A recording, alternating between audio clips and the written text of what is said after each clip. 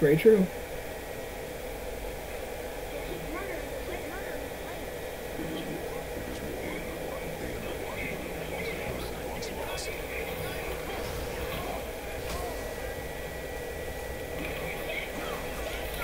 Boom!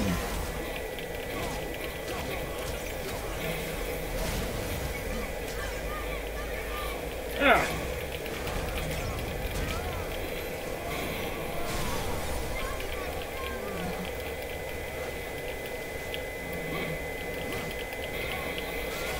There it is. Oh, yeah.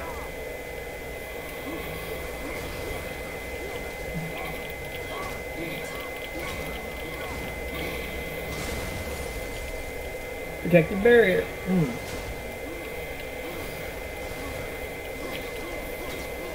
And he's out of there.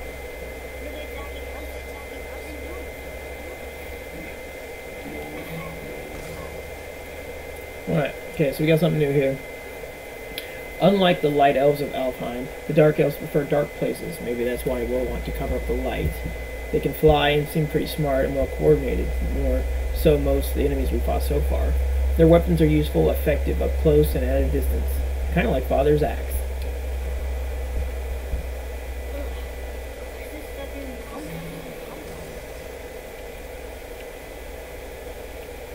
Hmm.